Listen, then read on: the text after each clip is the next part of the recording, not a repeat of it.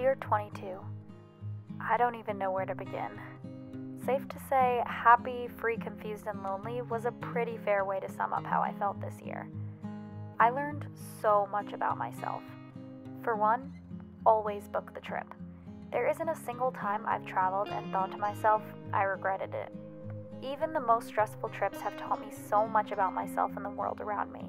It has become so important to me to constantly push my boundaries and escape my bubble. That's when I feel the most alive. 22 taught me that connections are everything. Hold on tight to people who make your soul happy. Sometimes it's friendships that give you the strength to keep going. Talk to strangers, learn about others. You never know where a bridge will lead you. And trust me, if job searching has taught me anything, it's that knowing the right people can bring you just about anywhere. The most important thing I have learned this year is how significant perspective is.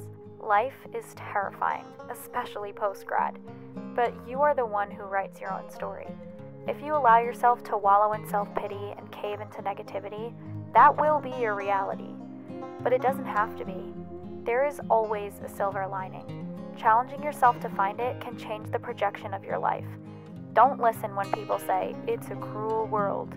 It is what you make it, and life is so beautiful. When times get hard, always step back and practice gratitude.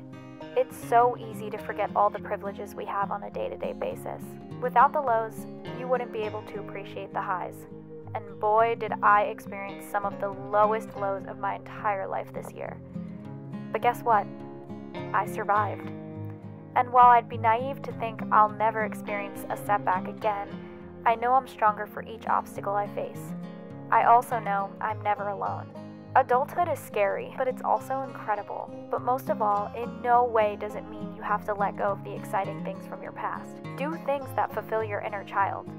Play old video games, watch corny childhood movies, dance to nostalgic music. Who cares what other people think of you? If there's anything I've learned about growing older, it's that nobody ever truly feels like an adult. We just ride the wave. So do what makes your heart feel full.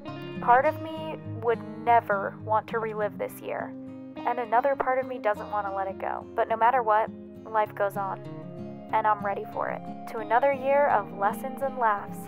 Goodbye, 22. See you soon, 23.